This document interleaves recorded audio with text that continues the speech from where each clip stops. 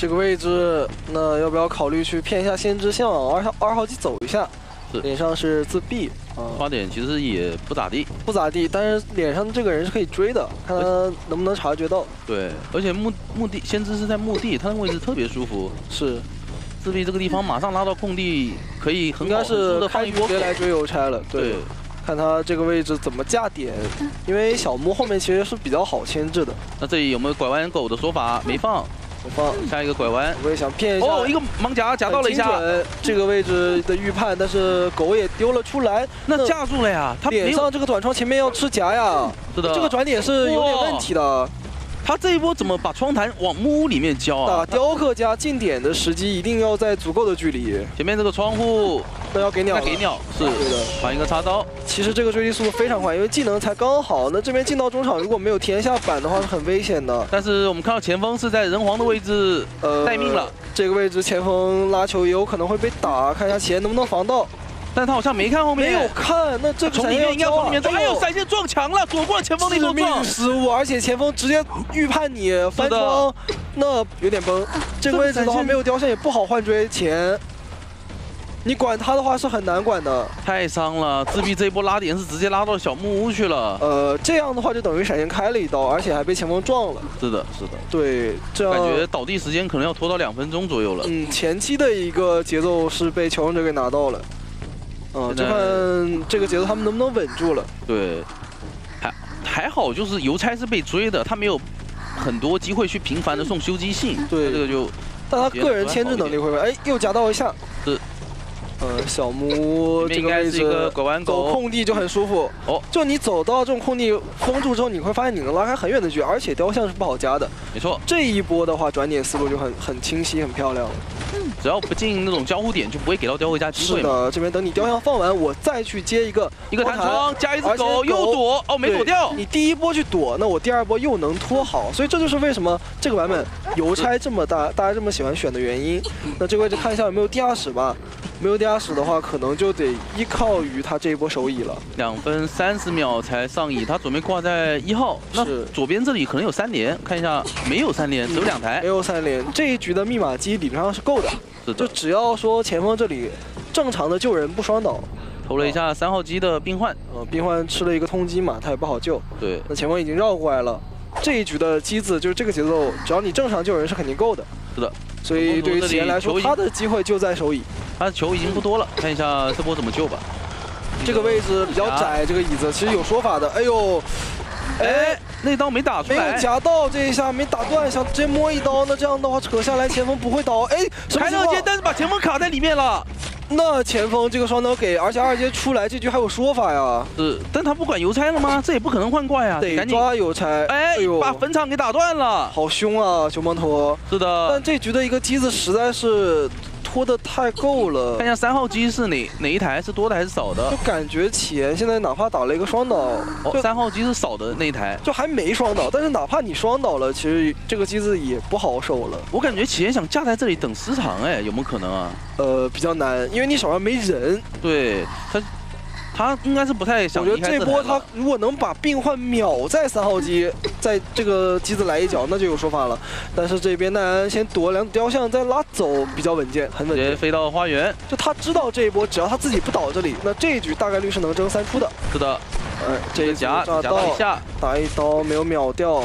那拉到墓地去嘛。现在三台密码机，墓一台，小推一台，加三号一台。强者现在应怎么打呢？就是，哎，我邮差这边可以找前锋去补状态，然后让先知再起一台小木的机，或者说让先知在这边给压力，那边补状态之后，两个人重新修。那边九梦图躺在地上躺了好久，没人管他。嗯，现在终于邮差去摸摸起来了。先知看到你来手，那我就勾引一下嘛，让我的队友来补状态，就慢慢的去消耗你。其实也算是一个小三连嘛，对，就是木屋一号跟三号。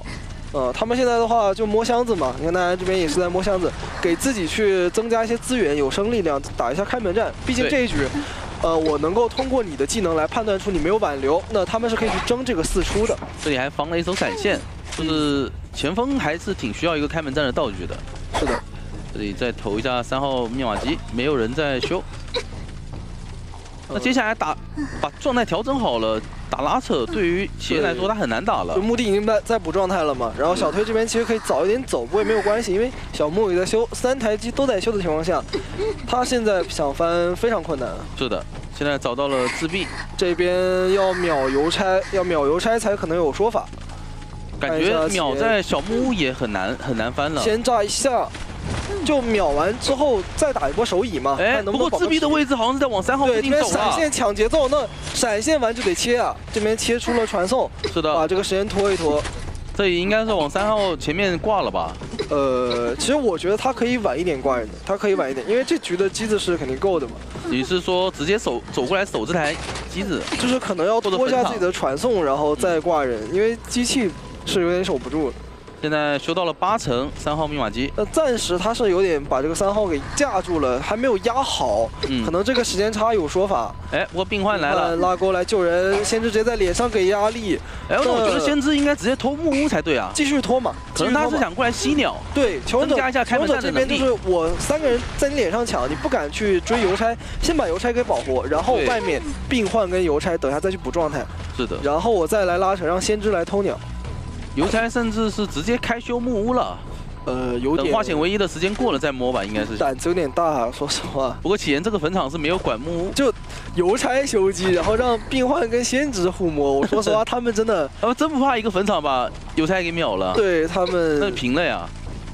是这波还是比比较头铁，看一下启言能不能反应过来。不过他可能也没想到一个半状态的邮差敢在那边修，就是打一个反心理嘛，是最危险的地方你就不会来找我，对吧确？实确实。那这边的话，把前锋，哎哎呦呦，还没有处理掉。这么小的一个角度还躲掉了一个二阶合成，他这一波的话，其实压好了，怎么说？直接通电。去硬追也不好打呀，他看，得靠一波手椅。对，我们看一下墓地有没有刚才奈安帮忙留的道具。我这样开的话，你不救一波的话，其实是不好四出的。那看九梦图这边要怎么打了，先被炸到一下。关键他们也没有化险为夷，对，这一下又倒了二阶，那应该是先去稳一个三跑吧。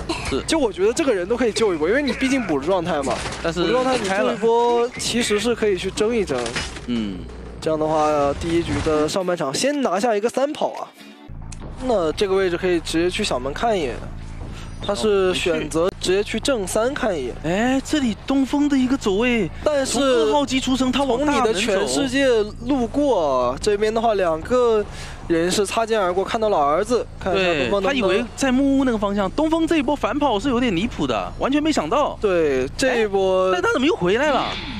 刚才感觉已经跑到他应该是。走过去，女巫就是他有显示女巫那个 本体标，以为他被找到了，所以回来卡板。这原生拿秒拿一刀也太快了就。误打误撞，两个人又是一个奇迹的相遇。这样的话，一条本体狗基本上就带走，带走之后呢，还能来干扰到你的儿子。那前面看有没有一个翻窗的机会吧，毕竟它原生是有一定距离的。是的。但是从外面堵的话，哎，他是想要卡狗，因为他也不知道你信徒的一个位置嘛。没错，毕竟是原生嘛，透视不到的。过来之后呢，边挂人边把你的儿子处理掉，处理掉之后呢，还能去守你四号机的一个机器。对，那这把的话节奏可就不只是一个平局了。嗯，对于挂上学来说，这个局有找到儿子吗？啊，还是要打掉的。场上密码机三台都不到对他，八成，他这个局的节奏非常好啊，就是对于梦之女巫来说，这个局是很容易三抓四抓的。而且修的最快的这个心理学家还得被干扰，对还得走。而且手椅这边你也给不到撞救的机会，因为我两个信徒在脸上，对，只能说你来卡一个卡半嘛。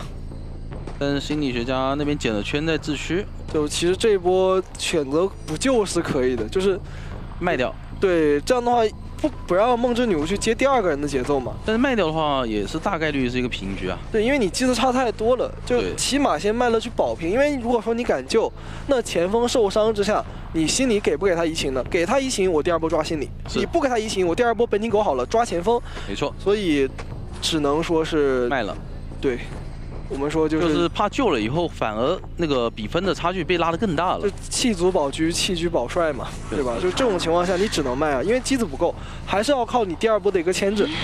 那你直接许悦继承一个选择用前锋来接节奏，还是比较自信的，因为他毕竟底牌也在手里，而且本体狗也好了。那本体狗加原生闪，现在桃行必须要卡掉一个，或者说躲掉一个。应该直接放狗了。嗯，咬住，哎，甚至没有没有下板的机会了对，，不给任何机会。这里甩一刀拉球，但是拉球进板有机会卡呀。这个位置用寄生还是躲掉了。桃行这波好像要秀起来，桃行行不行？哇？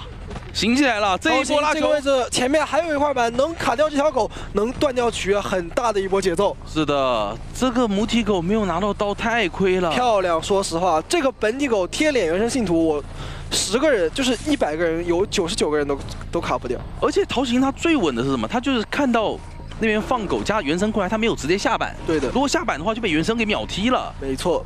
所以换节奏了。就顶住了，在这种关键时刻顶住了。现在看一下初初能不能顶住。不过因为桃行他一个优秀的牵制，所以密码机我们可以看到差的不多。这里既是直接放狗，那用狗来开心理的刀是很慢的，对，毕竟我三刀哥嘛，对吧？三刀哥这边拿一刀，拿一刀有点卡位了。卡了一下模型那身，位其实拉近了一些，给到一些走路拿刀的机会。这边一个翻板加速，呃，两个信徒不用第二个信徒来架一下吗？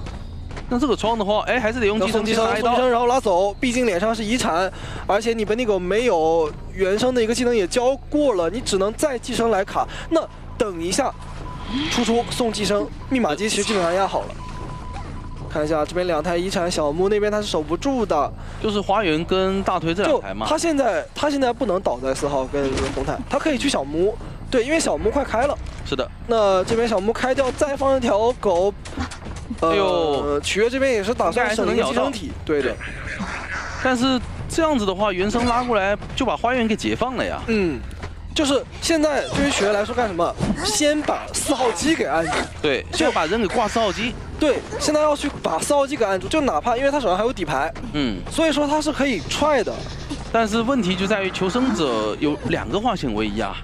就这个局能不能赢，有机会赢，把那个机子守住，一踹，然后打针对，一直去针对，不让你不让你换节奏，对再寄生一波桃行，对，不给他撞击的机会，看看现在要不要卷到果断失常。曲月，踢不踢呢？如果说你不踢，他他不知道这个机子也已经是基本压好了，他们把花园的给压住没开，对，想先开掉这台再压花园的。对，所以他贪了一手，他没有选择踹，他觉得机子不够。是的呃，求生者这边是成功的迷惑到了，看一下四号能不能偷。好像没人在偷，两个人是哎呀，这个机生拉走，现在是一个最好的时机，最好的机会，加薪。嘉欣已经去了，这嘉个机子能。不能亮？这个机子能不能亮？胜负手啊，关键。曲月没有发现那边是在偷了，没发现，他以为佣兵在花园。对他觉得红毯那台机他能守，那这个四号完蛋能偷了呀开，偷开之后这个局能保平。前锋那边只要一个自驱驱完，在花园压密码机，让佣兵去救人就好了。对，不过现在就是看一下开门战能不能打好，因为毕竟他手上有底牌，梦之女巫开门战还有说法。但是对他来说，还是很大概率保平。对，就是如果说他能把机子给压住，那我们都知道他是一个能争胜的局。是的，哎，那这不还是让前锋去救吗？对，他们想省一个化险为夷，感觉。这边也是就稳一手嘛。哎，一波拉球，哦哎，直接踹了，看到嘉兴的位置很远，所以直接踹了，而且看到前锋，前锋这波没有化险大为夷，密码机不！够了呀。大失误啊！这边佣兵没有贴到脸上，那这局还是等于说进入刚刚的节奏。现在就看能不能留下来。先拿一个前锋一刀，就他可以不打心理，这波打前锋是没问题的，因为我把前锋挂在这里，你还是要面临一个有人在地下室，机子不够的情况。你心里敢修吗？不敢修的呀。来了来了，这个局三抓起步，好吧，这个局真的三抓起步，只要曲悦这边不给一个大大的失误，是，这个局要抓起来了，这个局要抓起来了。心里那边自驱马上去完了，他就去完再去花园，其实也来不及。就我们前面一直为求生者提心吊胆，就是担担心他压不好这个机子，怕他直接开，但是这里就给到机会了。还是被踢掉了。嗯，他给了机会，给曲月有机会把那台密码机给踢掉，已经压满了密码机，他怎么能离那么远？我觉得硬吃一刀都行啊。他可能觉得队友没有来得及救人，对，但是的话，这波你就是一个抉择。你如果说你给他踢掉了，是那你这个局很有可能会被三抓四抓。对，那你直接开了的话，你起码能保证你能走一个，对吧？或者说你能有机会去争平局，毕竟你前面有道具嘛。是的，是的。现在的话，一个圈拉走，求生者是不能倒的，就还有说法。如果说现在有人倒地，那这个局就崩掉了。现在继续去管输出，可以用两个信徒夹他，我感觉就觉。这一波救人是很 nice 的，给到求生者一些喘息的空间，包括小门现在已经消除掉信徒来补状态了。对，所以曲月现在想去接节奏，要击倒只要击倒，不管是谁，只要倒地了，这个局就能翻。没错。但是单信徒加私藏的话，还是比较难追击的。嗯，就求生者现在一定要稳住，嗯，要拖，补状态，摸道具，让曲月这边就是走路步兵嘛，慢慢慢慢的去消耗。那这个时间就是越拖求生者越好打，越拖越好打。如果说都能补好状态的话，甚至可以去争平局往上走。是的。因为开门战私藏的梦之女巫还是比较弱的，对，在找出出的位置能看到吗？躲在大门。哎，哎呦，看到了，被发现了，这个位置还敢蹲，那要倒啊！哎呦，这里没有出刀，为什么这里不套路一下？太过就是太头铁了。对他走得太近了，没有没有跟他骗一手。就你这种小短板，你在那个板子一卡，翻不翻都要倒啊！现在补上一个寄生，这一波的话有没有在修心机呢？没有修，失良机。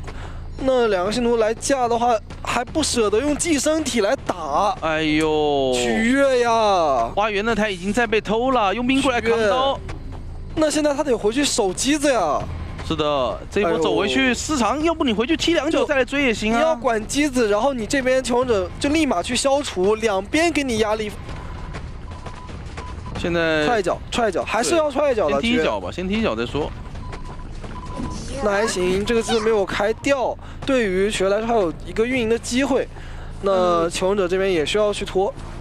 是的，求生者刚才没有利用梦之女巫找心理学家那一波调整一下，还是哦。不过看到佣兵摸了一个娃娃出来，他们是给压力嘛，就是要点这个机子给压力。这边的话，嘉欣也是绕过来再去给你压力。这娃娃是放在哪呢？能不能找机会？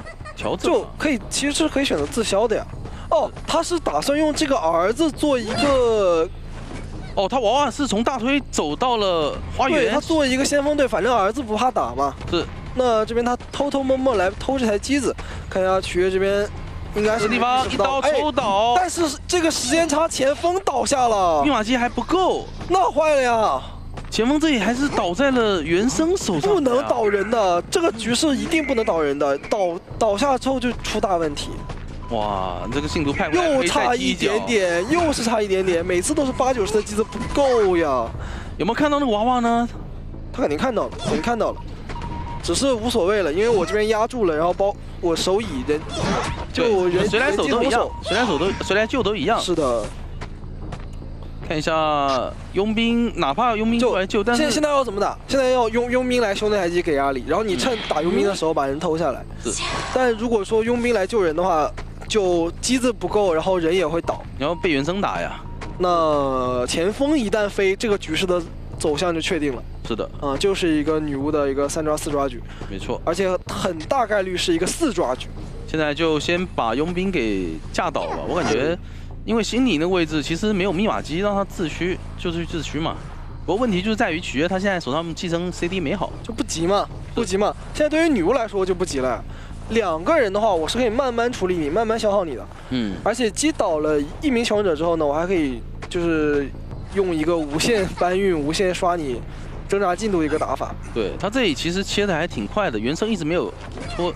没有停下来，嗯，原生有白拿一刀的机会了，一个加速信徒你是根本躲不了的。然后再切成寄生，看一下有没有机会。那这个节奏就是一个步入四抓的一个节奏。是的，再给佣兵补一个寄生，一个信徒，而且心里的位置他是知道的。虽然你把信徒给压好，但你压好信徒也就意味着你你全程是能够暴露在曲月的一个视野下面的。是的。那两边带到墓地包夹一下也根本不着急啊，佣兵的自愈非常慢。对你现在驱你的，我一个原生慢慢跟着你打就好了。你现在把他的信徒消掉，但是其实也没有太多的一个收益了。是的，这一局的关键点还是在于这个失常把机子给踹掉，并且求生者在救下来人之后呢，失常的手下还是倒了。是，感觉当时嘉兴就是强行吃一刀嘛，强行吃一刀，前锋利用这个时间差把人救下来，他在通电也来得及。这边有一个翻窗加速，拉开一些距离，还能再拖些时间啊！哦，这一次感觉自己的寄生 CD 快好了，所以先把佣兵给上挂。对，自信。嗯啊，很自信。等一下，两个信徒直接一起包包夹嘛，毕竟你心里现在什么都没有，而且你也逃不出来这个范围，所以二打一，曲月这边是拿捏住了。这也就是卡住中场的位置，然后再调的自己的一个原生过来。是，这也是心理和技师的一个。不同的点有劣势的地方嘛？是。对。如果说他在花园是一个技师在那边修的话，他可以打提前洞，就没那么怕。是的，呃，现在一一个包夹带走，很漂亮，拿下了一个四抓。那么在第一局这边是由 ACT 率先拿到优势，并且呢是一个嗯八比一。大优势。墓地出生，往红蝶河方向走。就先去中场看嘛，先去中场看一看，去独栋这边望一望。现在感觉救人位也不太敢在中场待着了。永绵镇这个图主要是你监管从嗯，哪个方向来，他都去中场看，所以现在中场没人，中场就佣兵站在那边，他也会被追，他不敢去了都。直接看到了桃心这边的空军，这个盲夹没有夹到，呃板子也提前下好了，地下室在这里要注意。是是的，张狂挽留还点了一点淬火。独栋还是一个比较经典好牵制的地方。对，嗯，而且距离拉的还可以，一波夹，这个夹给到一些身位的拉近，但是这边落地是可以给一枪的，很漂亮。但这一枪看的有点早，我感觉差一点就被解解就他杀了。看的有点。早，因为你可以等，就是他是有点半空中就已经打到的感觉，是的，是的，但是远距离的一个夹，夹到了一下。就还利用一个翻板，但是曲月也是把握住了这个交互。我们看到祭司的位置，出初是在墓地，会不会有提前动呢？哎呦，漂亮，这么远的距离拉近，身位，并且加了一下，那这样给不到手刀了，再加一下，这边要不要反钻？没有不反反钻的话，这个位置要倒，前面这个板你不能翻，板也进不了。哎呦位置，哇我，躲开了，两个夹全躲开。是的，觉得身位不够近，这边已经是天秀，但是还是不够，因为前面曲曲月抓住了机会。这个位置的话，你倒不倒？有一个隔双刀的机会吗？哇，这个失误了！他放远了这个雕像，远距离的交互夹你这么精准，这个交互夹你居然失误了，曲月那感觉给拖到一些时间哎，，看一下出两个洞，出出两个洞，为什么没有过来帮忙？是命中了。对，其实这波我感觉出出可以保一下的，因为他是从墓地帮忙打了洞到中场。对他其实，在中场可以再去留一个洞，或者再去把两个洞全部都交出来。对，因为你存着也是存着，你如果这个洞交出来，空军可能可以牵制更久。对这一波的话，双方也是有来有回吧。这个先行时间其实就是能接受的，呃，就可以去保平的一个快接近三台嘛。嗯，呃求生者方的话，看一下佣兵有没有压过来。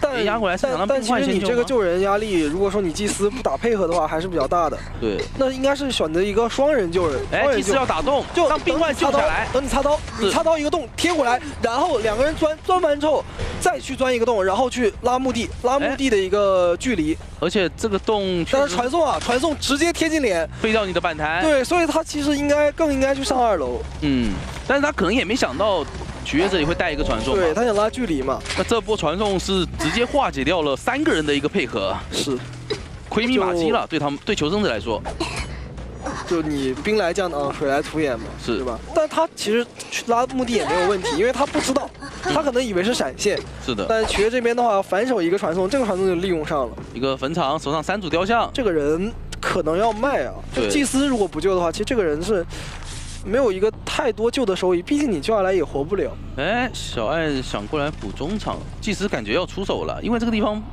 有点不救呃白不救的意思。对，祭司是可以操作的，但是。也有风险吧，只能说。别打洞哪怕祭司救人也有风险，直接秒扯。瘸这边反应有，你没有反应过来？对，他打洞过来救的时候才看到。我感觉当时在犹豫要不要丢坟那场，这波等于白救人，对吧白救人的话，那就是那就太赚了。所以抢了这个祭司好像也还可以吧，能保平效效果体现出来了。对，这个举雄者还是能保平的。呃，曲月这边一个二阶炸倒也是比较精准，没有给他掏醒任何的机会。没错，密码机的话差的也不多，他这个节奏想衔接起来比较困难。对，因为最后一台密码机只差三层了。要抓要守这个中场，现在这个局要守中场这台。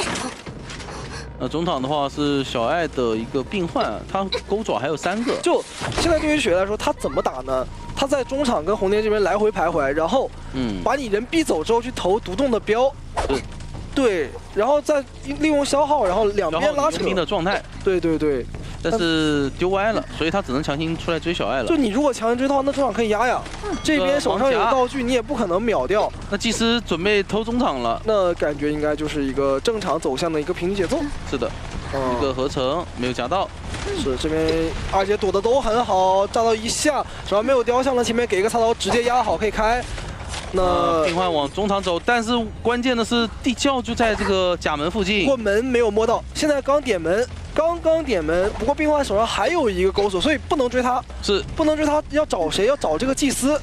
问题是在于祭司手上还有个洞，你继续追，说不定祭司等下过来保了。就三个人都有开门战能力，但是为什么要找祭司？因为祭司离门近，他传送过来可以去追，但他如果追佣兵的话是也是一个三个护腕的佣兵。呃不太好，他这样只能管门，我觉得可以套路一下，小爱直接弹了一个钩爪到门口，就是要不考虑坟假场来一手佣？兵，然后我再回来去管另外一个门，但是他手上是没有雕像的，呃没有关系，这个位置可以架住，把它架在这里就能保平。怎么说？问题是边上可能有祭司打得动。哎呦，洞处理一下吧，处理一下吧，也没关系。哎，能不能看到他往右边走是一波两个？人的位置都在墓地近点呀，他怎么他这里是套路，他以为病患会往这里走，耳鸣都给自己走没了。错了呀，曲月，这个位置你这样打的话，那祭司能拦住吗？也没有选择拦去投标，把自己的视野给卡住了。那祭司是有机会走的，这边定最多最多而且一个合成还没没合成出来。那这个局要三出，这个就要三出了。祭司拦不住，病患有钩锁，甚至能接大洞，病患钩甚至能接到用完了，他上二楼，他用了一个钩爪去贴门了，呃，钩锁用完了，但是他可以去卡一个视野，一个合成终于定到了小爱。天呐！但是初初这一次打过来打洞了，洞，但小洞被发现了。这里能不能架住小爱？哇，一个盲夹先夹到一下，那应该是架住了。那个洞没打，会不会有伏笔啊？那这个这个位置应该是能倒，这个位置应该是能倒，他他走不掉，再等一组这个坟场又无事发生。走不过来，他毕竟是一个一炸岛，哎，他没有发现他已经躲到双十一里面去了。这个位置还是被锁住了，还是被曲月给锁住了。是的，是的。哎呦，那就比较伤了。其实感觉病患可以拉远距离，然后去接个大洞的。嗯，当时主要还是为了抢门嘛。他传了学校门以后病患还是想着赶紧把墓地门抢开，对所以交了个钩爪。他把自己最后一个有声的道具给交掉了，那你确实是没什么机会走，那你只能依靠祭司啊。对，但祭司的选择就有点亏吧，我只能说，因为你接大洞的话，拉远距离，曲月这边没有传送，还是能走的。是。但且这里佣兵有一手化险为夷，感觉想搞事，想把那个墓地门打开，去搏一波三出。躲。不掉的呀，曲月这边防的很好呀。那手上可以再合成一波二阶，但是躲掉了。前面这个位置还有一组二阶，你怎么躲？哎呦，这么强！这你能走吗？前面这个位置离地窖那么远，也没有动，那我再等一组二阶把你架在这里，你还是要倒啊，是的，对吧？就我二级雕刻家，继续挂远嘛。对，没办法，挂墓地里面的话，他可以不呃挂呀，可以不挂，不挂呀，就刷呀，坐牢呀，坐牢。但是出出如果存出三个洞，还是有机会啊，也有机会。呃，不好走，还是不好走，我就让你一直在里面挣扎下来，对吧？那你这样祭司的话，你要一直等，一直拖，然后佣兵摸道具来补。现在就是一个资源的一个消耗，其实佣兵佣兵想把这个护腕给拿出来，运道具对，就有机会了。就是运过来的瞬间，然后得卡一个病患摇下来的时间，对去帮忙扛刀。许悦这里的话也是意识到了，所以要打一下求生者的状态。对，不过这个坟场没丢好，有点近了。看一下，佣兵翻到了一个护腕，想把护腕给运过来，就他等你们要过来摸人的时候干什么呢？把人牵起来，打你气球刀。哎，把人牵走，或者说把人挂上也可以，是，或者说让你再摇下来。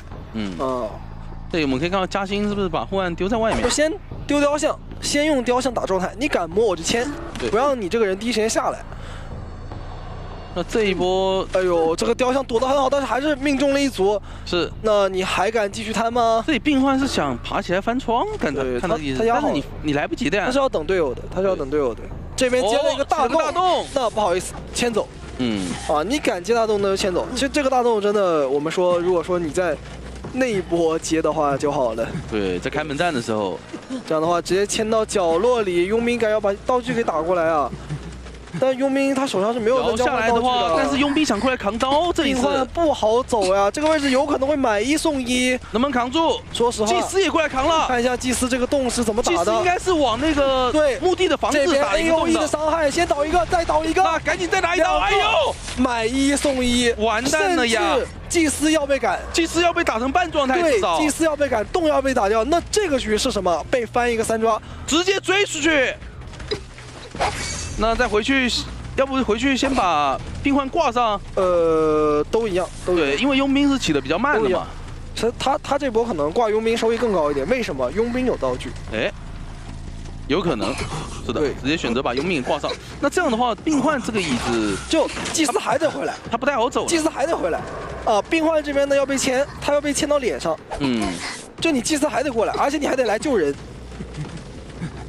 他还是考虑把病患给挂上他。想挂上，因为你没耳鸣啊。你要是有耳鸣，OK，我牵椅子；没有耳鸣，我直接挂。你祭司怎么打？现在我手上有传送，有二阶，你来不来送，对吧？你不来救人，我三抓，稳稳的。你你来救人，很有可能是什么四抓。因为祭司你这个状态没法救人了呀，你夹到一下就没了。就觉得本来说，哎，我不挂人对吧？我搞搞个平局，意思意思，大家呃和平相处。就结果运营着运营着，哎，怎么突然变三抓了？直这个位置可以直接去围击，就学校门探一下这空地到底是谁。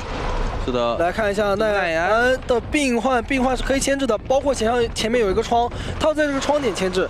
而且这个奈安这个可以换人，这个人要换，这个人要换。你就算滚到了，你不好夹他。自闭的祭司可以追啊，祭司是可以追的。这个位置吗？没有，不不是那么好牵制，他没有选择卡这个窗，对。那要滚给给到哎一下呀呦，，地下非常的快，直接白给到一下，而且你不好打洞的，你只能等滚完之后变身再打洞。为什么不在两百一窗里面牵制呢？里面有个窗的呀，这边的话捏一个加速可以滚到，哦，哎变成人形态，有点急前，他不想拖，那这个位置你不好秒，前面这个夹子的机会。能拿一刀，哇，这个夹子失误洞还打，掉了，那节奏很亏节。奏断了，得重这一波是新滚了。绝对不能这么打的。那他来到中场找到介师，介师也太大胆了。但是吉尔斯这个位置，一个全新的人，你得重新滚两层啊。这个位置反而感觉比刚刚祭司那个位置反而好牵制一点。是不过启言这边的体验熟练度很高，板区熟练度还是可以的。一个加速滚先蹭到了一层，那第二层看一下空地要拉开再回来就可以处理了呀，启言，你不要跟他近身位，你先拉开，先拉开，不过黎明的走位也是非常的先拉开。再加速。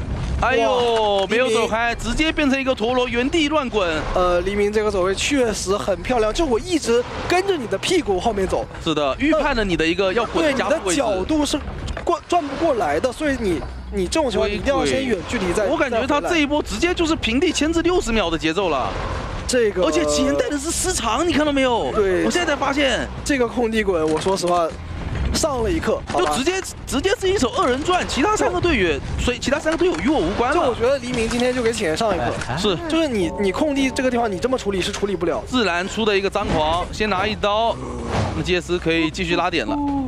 看一下有没有队友过来打打个填洞之类的。呃，这边的话要靠自己的一个一阶填刺再捏倒了，但是时间上对于监管者来说的话差太哎，多了他这。一接没滚到，还有一波灵活开恢复的机开早了会。前面能搏一个板，哎呦，还好是过了。呃，没有盖到。是的，这边是的结实倒地，凭借个人能力牵制三台，并且而在外面，对于企业来说，这个局现在有一手时长在手，他想踢想踢独栋这台就是想赢，要怎么赢呢？要靠求生者一个巨大的失误。这一波举过来有机会能挂上吗？这么远，感觉好像没带三层摇的样子。那这一波可以去独栋踢一脚，把大洞清了，但是人可以会被秒救不能，守，人不能守，对他不能守乙啊，他的节奏不允许他守椅，他还是想先踢一脚再过。对踢，然后不停的秒人。那现在把私藏这个技能给暴露出来了，他下一波追击杰斯是有有有可能溜起来的，他好像在刷血条，二阶啊，他有二阶啊。在刷血条。他，打倒儿子有二阶了，结师也是牵制不动，但是嗯。问题就在于机器是够的，是，对。而且已经切成了插眼，不过眼 CD 没好，他想秒这边的祭司，得秒人，得秒人，祭司得让他得让他倒。这边一个爆爆摔，哎呦，洞还是打出来了，捏空掉之后，你上楼看夹子，上楼不好夹了呀。看。夹子，对要逼下去，要逼下去。就是插一个眼，你翻翻完之后我跳，跳了之后吉野还有一个洞，斯感觉感觉解放出来的呀，他们重新再开一台新的密码机是完全来得及自的，逼好稳，没有给到任何的机会点。再变成轮形态，现在还要继续管吗？不管了吧，呃，就是找一下有没有机械师的位置呀。这个局就只有理论上四抓的可能性。嗯，一个二阶还空了，捏一下，能捏到一，层。哎把儿子处理掉这顺便是捏了个儿子对，，把儿子给处理掉嘛。但是我们看到机械师他好像是在炸掉之前换了香水，所以没有爆到机械师的点，对，那也是导致起源这波找不到机械师。就他现在抓到人了，他都不能挂，是，他要不停的去打，就回来找自闭有机会秒，但是夹子砸到了灯笼上。没有丢出去啊、在这种情况下不容失误了，钱真的不容失误了。你失误一波，不好意思，机子二三十的掉。那我们可以看到，但是失误一波，那边已经八十七十压好了，对，只要来救一波，密码机就压好了要。插个眼冲出去。冲出去有没有机会开强开呢？这边八环在脸、上就给压力了，九十多，感觉求生者要强开开要抢开，密码机了。要强开，接是有香水，他是不慌的。是的，那让九门图来开最后一波。游民会倒吗？哎他这个位置没敢出刀，哦失误了。钱这边刀也捏急了，确实，捏了一个蓄力刀。他觉得佣兵会这边是他是操作变形了博弈一下，他是操作变形了，已经有点急了都。对对对。那先留先留一个吧，先留一个吧，看一下祭司的位置，把祭司给放倒。这边一个想去管门不好吧？这个开门战感觉就谁都很难病找啊。患这个手上还有这么多道具呢。一个钩把爪索拉走，看夹子，夹子不要再空了。这个位置往楼上走，那躲掉了，躲掉，躲掉之后距离拉近了，还是能倒。一刀直接打到病患。因为如果说这个位置他能够走下去的话，一个勾或者说是进板一个勾就四跑了。那最终求生者也是拿了一波三跑出，，那么三出的情况下也是二比零，干脆利落带走了瑞棒。是的。那不得不说 ACT 今天的一个表现还是非常好的。第二把的黎明完完全全的一个个人秀，这里在靠近中场的地方出生，对，那左边的话是一个卡梦的前锋，而且卡梦带的是手双弹，所以可能不太好追了。是，哎，前面一个盲夹已经夹到了，一个盲夹好快，很快啊，这个夹的速度。卡梦是一个翻窗翻出来以后拉了一波距离，是的，那前面的话要不要可以拉球？直接拉球。想夹但是没有夹到，但是卡梦这波拉的这个点位是三连的点位啊，对，但是卡梦可能是优先考虑呃酒店这个位置比较好牵制，嗯。然后队友是帮忙下了个转点板。但是这个点位，如果说倒在这里，可能要被被压住四连，而且对，现在的话他直接出去想压一下密码机。就换妹克的节奏。你上楼不好追，那反正你还有个别的人嘛，我直接追你其他人就好了。对，再换一下，看一下是大龙的先知，那终于是找到了自己想要抓的先知了。提前一个弹窗，那这样的节奏就是变成什么？前方修佣兵，佣兵修先知的，先知被追对，不过那样的话有个好处就是卡梦可以在酒店的时候帮忙辅助一下，是。但是卡梦没走，大龙还是带回来了，这个地方很危，险直，接翻走防你一手换抓。先把板踢了。那楼上的大龙也可以拉很远的距离，是的，卡梦在爆点，肯定是在爆点告诉他橙子大概到哪个地方了。是。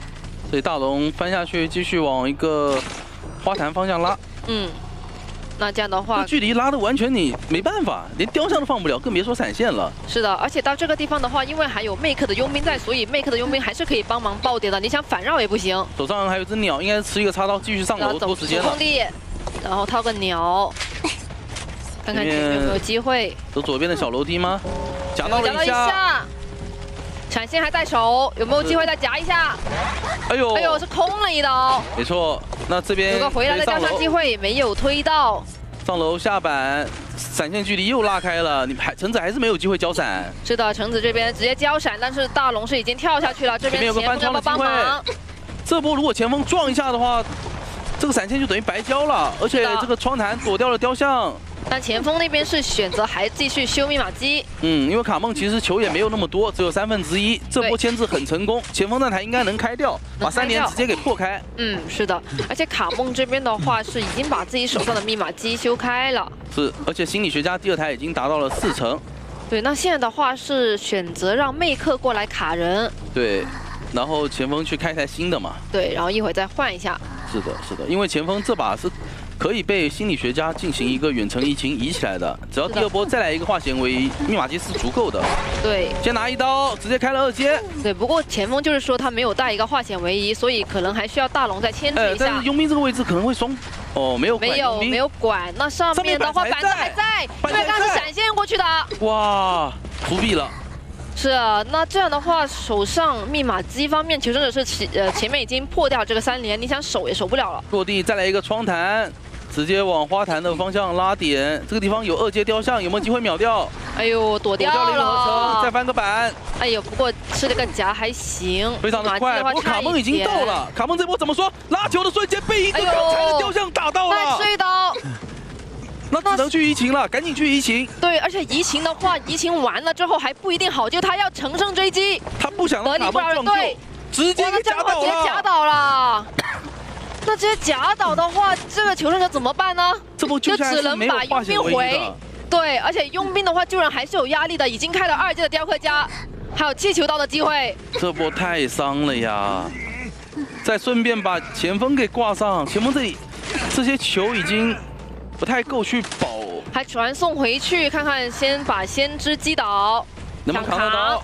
标难扛啊！最后一台密码机是百分之五十，大龙鸟吸出来了。怎么说？鸟吸出来了，鸟吸出来有机会。直接套鸟，扛到了。可以，是鸟挡掉了一刀。是的，但是前面还是很危险，因为这两组雕像空地直接合成。是的，还卡梦已经到了。这一波一个反弹，加速球拉了。哎呦，撞到了，还是一个完美完美交互撞。那前面能进板，没他怎么说？还砸到了，密码机已经达到了八成，这把保住了。那这样的话是硬生生的把密码机拖够了呀。这样的话想管密码机，但来不及呀。一个分弹投过去，穷者能强开的。那直接开的话，大龙已经在不知道多远的地方了。大龙应该会往前面的二楼跑。卡梦这一波，卡梦也上二楼。这不过这里的话，感觉大龙的走位是有点往监管者的脸上跑了。他这一波还是可以拉一个距离，但是一波反绕大龙能反应过来吗？反应过来了，前面的窗户应该还是能去翻一下的。是的，橙子的话是带了个挽留，夹到的话也无所谓，利用一个弹窗继续拉距离。对，但是你很难再在这个窗牵制了，得转出去，这个窗碎了，因为。那现在直接来到门口，前面还有两个板子，这两个板一下，就算橙子现在击倒也没什么太大的作用，因为它传送没好。是的，我们看到灯笼门那边已经开了一个板台，又躲掉了一刀。因为先知的话，他是有一个翻板加速，所以就躲掉了这一刀。是前面可以再翻个窗，骗了一手。橙子没有交雕像，一个抽刀。是的，那这把的话就是一个稳稳的三跑局了。前期的话，还是因为大龙的一个个人牵制牵制的太好了，在中场出生。是的，那这个点的话，求生者可能会比较分散。确实，他是直接往左边半场过来看一眼。是的，那前面的话是求生者拉走了，因为他往右边走，北离是苟在了这一块板子后面。哎呦，没有看到。对。那来到酒店的话是蒹葭，他也不看一眼蒹葭吗？选择。他觉得酒店二楼不太好上。哎呦，那这样的话就是把北离骗出来了。对。滚到一下，非常快，直接变成人形态。拉球了。拉球会比较稳一下。哇，拉了好长的球啊！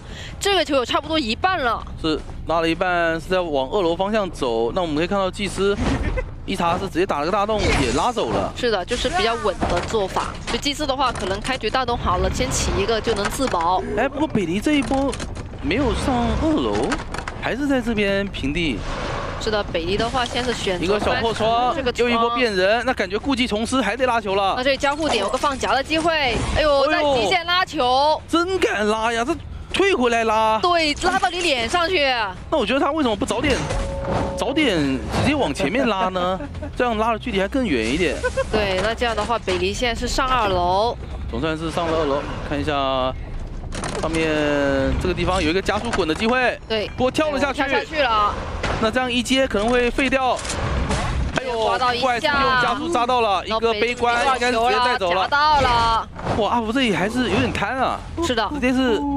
夹到以后接的，接的一刀平也对，像这样的话闪现还在手里，让存在感会更多一些嘛。是的，密码机才两台，那这把密码机的进度对于阿福来说是有个四抓面的。冲击到了佣兵，看一下，应该是让石啸过来卡一下。是的，那大老师这边四抓率是给到了三十五左右。哦，这也是让蒹葭蒹葭在脸上卡着，利用这根树。如果你拉出来的话，他可以利用这个树弹过去嘛，弹过去就。那蒹葭也过来准备卡半了。哎呦，这刀拿一刀开个接。那你救下来的话，谁捡到树了？看看，再一个夹。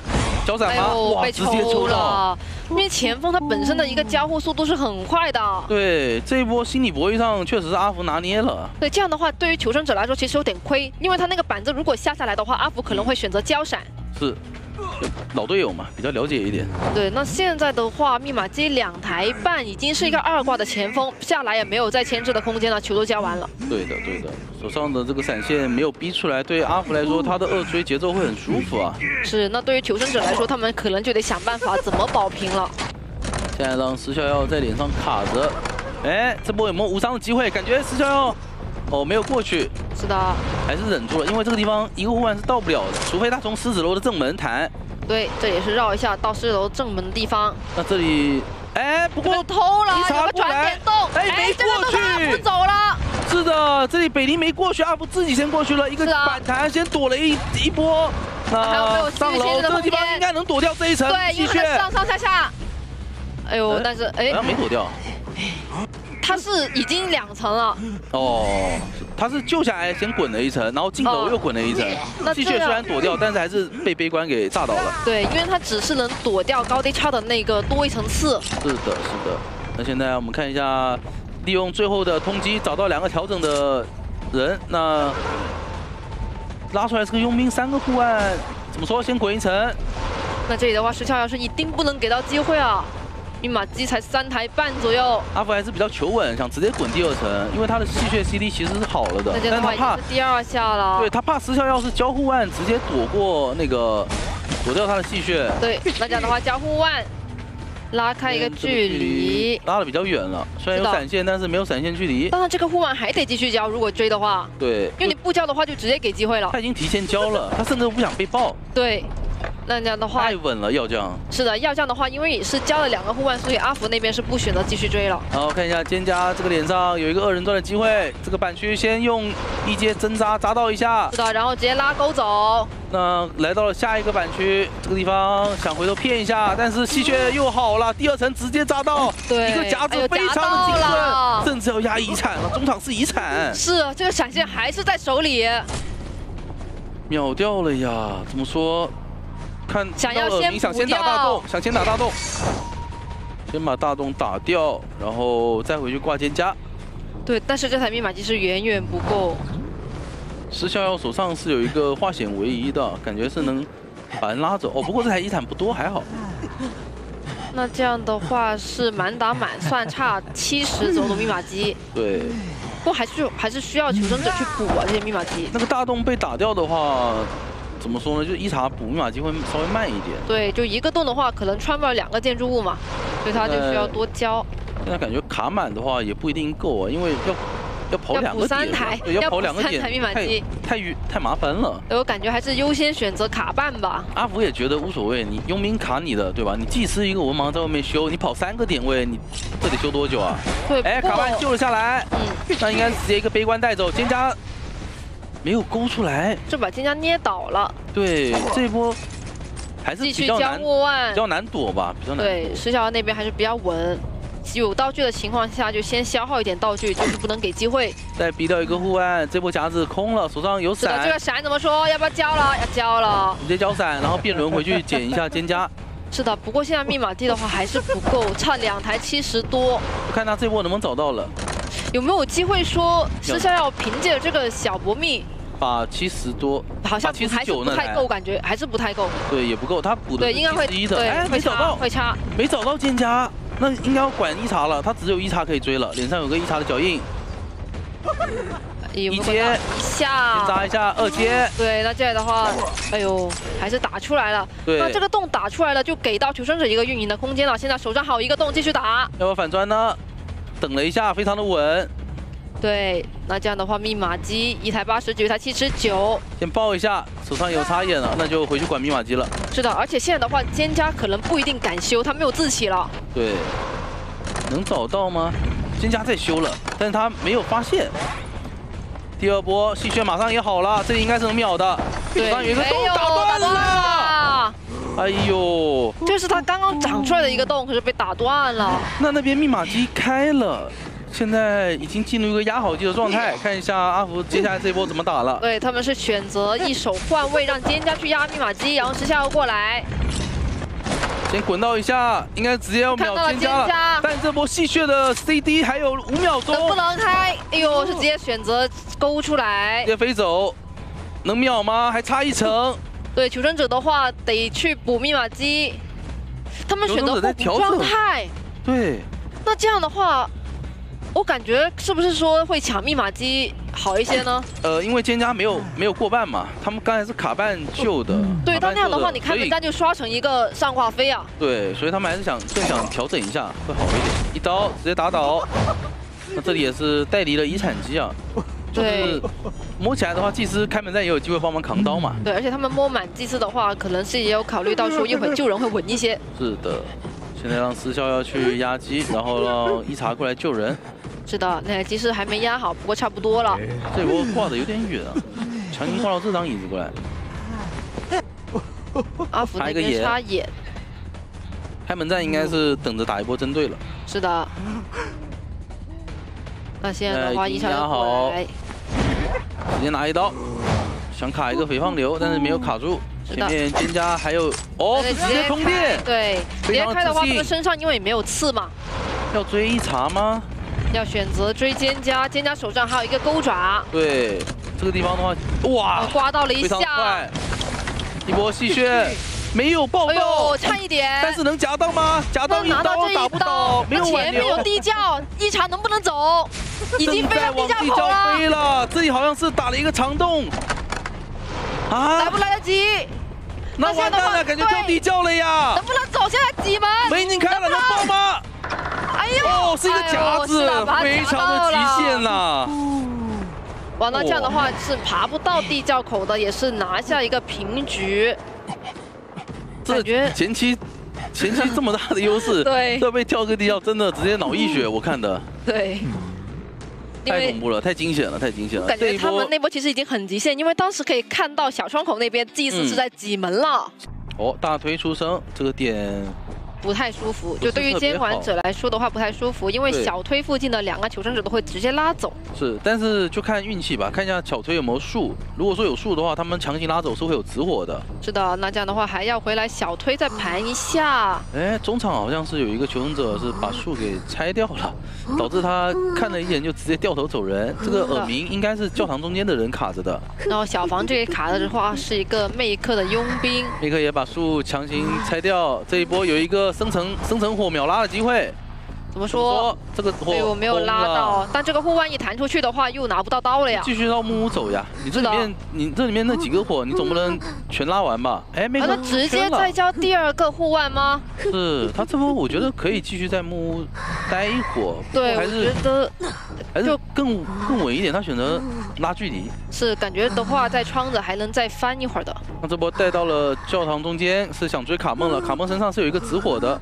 对，这是个双弹的前锋，回头去大推找大龙的先知。我感觉他这里是不是淬火好了？淬火好了以后，直接杀到大推过来了。对，这大龙的话是有一个推墙，就稍微推了一下。啊？没淬火？又不不是他又不追了，不追的话又回去的话找前锋吗？卡梦现在身上带着两团火，很危险啊！一波拉还骗了一下走位。但这样的话，下个板子，这个地方有个拉火机会。卡梦非常的稳啊，拉火。拉球躲火，是的，但这样的话，墓地的密码机都快开了，还没追到一刀。是，这个距离的话，还是尽量躲一下直是的，还躲掉了。那这里有个翻前面窗的机会，选择直接拉球，完全不给机会。是的，而且这把军师九他开局带了一个插眼，就架不住人。他架不住人，他这个插眼发挥不出来效果。对，还直接套鸟，而且来到了墓地这个地方的话，虽然说有一台心理学的大遗产，但是完全是可以一会儿再去开的。是，就先拉走，一会儿下来之后，一个眼先把卡蒙架住，等一波拉火机会了。这个火不能再空了，完全没节奏了，这个火得得拉到啊，不然真的还有四分之一的球，不然真的很难打了。哇，又没拉到，直接拉球。卡梦这波是骗的，一个博弈机会，我抽到了。终于抽到，那现在有有一个加速带，卡梦也不太好转走，手上球已经交完了。但是密码机已经要三台了呀，感觉只能强行到捕鼠器里面去搏板。不过卡梦没有选择进板，继续往外拉。那双这个双十一点还有一个板，看一下一个板弹，对，这个火。有个贴脸火，预判到了。感觉卡梦他会假装要进那些交互点，骗军师酒去拉火，这也是一个小技巧吧。是的，不过这边的话，李月是被干扰到小门这边修机嘛，那他就可以直接去修墓地了，因为佣兵救完可以带点上的。对，带走就二十秒带走，然后佣兵去补这台小门的遗产。是，然后让前锋让前锋继续倒到墓地去。先知在外面开一台新的密码机，节奏是完全够的。这波拉火要躲。现在麦克手上只有一个护腕了。直接交，直接交，那感觉无伤救了。哎呦，躲掉了一个火，很秀。这波心理博弈，强行救了下来。那不管了呀，就是卡梦强行倒墓地，因为墓地可以开，让佣兵补脸上这台。是的，现在的话，Make 得卡找机会。哎，不想。他要，他现在只想，对他还是得过去。他现在已经没有办法不去管了，因为他只能管卡梦。对，卡梦这里感觉得倒一个犄角旮旯，不能被加速带直通车通回小门，不然他会很难受。哎，完了，这加速带感觉还是有机会挂。那我感觉是能开的这个密码机，八十多的进度。有眼有眼，很难说。九十，继续强行拉回来。我感觉刚才那个点位。哎呦，还那能开了，对，那你挂上的话，还有个动作是直接开了，吃刀无所谓。是，再不济最外面有个心理嘛，让心理来救这一波就好了呀。佣兵直接去贴大门，或者说再看情况。对，而且心理觉得的话，他不怕吃到火，吃到火还能救下来。嗯，贴大门好一点，这一波。这波让卡梦再拖一个时间吧，他稍微拖一个给佣兵走到大门的时间就够了。是的，佣兵的话也是回到撞。哎，一个火没有拉到，反应非常的快，直接躲开了。他们是选择开小门，没有选择去贴大门。那就是让卡梦远离小门就好了。是的，卡梦现在不能倒，能，哎呦，火也不能吃了。一个板台往一百一窗的方向拉，下了这个板，手上拉火已经好了，只能强行种一棵树。这个地方有没有秒拉的机会？秒拉没有拉到，那还得吃个插刀，哎呀翻过去啊！直接切成闪现。对，门的话一半，他现在得拉个加速带过去看看。这个门开不了。哎，为什么不够啊？百分之六十五，难道是带了幽闭？可能是带了幽闭。带个火跑到脸上去，哎呦，还吃了个头。加速，但是被砸头了。这一波的话。还想回去管，想回去先挂一下卡梦吗？还是继续管门呢？加速卡梦要自起了呀，卡梦还能自己翻进去吗？差一点，哎，起了，自己翻进去了，刚刚好。是的，非常的极限。那这个门是强行被偷开了。看一下有没有说法，内克好像想过来扛刀，能不能进上面这个板？哎呦，没有进到，那可能扛不了。对，那那样的话他也不太好出来扛刀了。是的，先交一个加速带把人给逼走。是。那现在来这里的话，只是先把求生者逼走，其实也没有太多的机会了。毕竟他们也是保了一个三跑局了。是的，刷在了中场的方向。哦，那一查这把是刷在小门，那个点位其实没有特别好，但是他选择往墓地追，墓地是蒹葭的邮差。那蒹葭的邮差这边是选择直接先送信。是的。阿福在第二把还能拿到雕刻家，其实对他来说是很开心的事情。是的，那就有个假的机会能拿一刀。直接先拿一刀，拿拿刀的速度很快。对，一查好像是往人皇去了，提前打洞了。打好洞了，哎呦，夹到一下。但蒹葭这个位置不一定能到那个洞啊，前面还有一波夹的机会，一波纵向，但是没有夹回来，往前推。哎呦，这很险。一点点能不能打洞？哎呦，还是不钻过去了，很险。传送过来，直接放一条狗，手上雕像全部交完。对，那这样的话，但是闪现还有十二秒啊，这一波。这波蒹葭没那么好牵制，因为这些都是交互区，一个长墙逼回来，那应该交鸟，这也拿到一刀了，那应该直接打倒了。是的，而且蒹葭的话，他虽然说表面上从墓地到了教堂，再到小推这个地方，是就感觉好像绕了很久。对，但其实密码机只有两个半台。其实还是一个闪现时间呀，甚至闪现没交出来的一个闪现时间。对，这边的话是挂到大大推，还可以清一下你的洞。你不可能秒救的吧？我觉得，哎，轻动的话应该要选择秒救，可能是。哎呦，又一次习惯性后撤刀，我怎么感觉这雕刻家都好喜欢打后撤刀？对，那这样的话就给到蒹葭一个转点的机会了。对，但手上闪现还在啊，就看一查这一波中场还有没有动。对，蒹葭的话可以凭借自己的一个狗，或者是说看看还有没有动。哎，这里北离过来了，直接开了一枪。那这一波保下来了，能保出一个化险为夷以外的时间。是的。先丢一个坟场，看一下中场，邮差是钻洞以后一个板弹，再往花园拉，哇，这一波保保起来了，真保起来了。是的，这波也是 X Roll 求生者的一个配合。是的，直接拉到了花园附近。那手上还有一个闪现，只要追上是有机会继续打倒的。是的，而且他们的话可能是有安排说让他倒在哪里附近，就大推嘛。嗯。失效在那边，密码机快开了，直接闪现出来拿到一刀。